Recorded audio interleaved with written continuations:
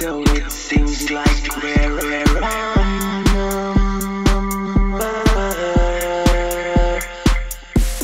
Well, well, good.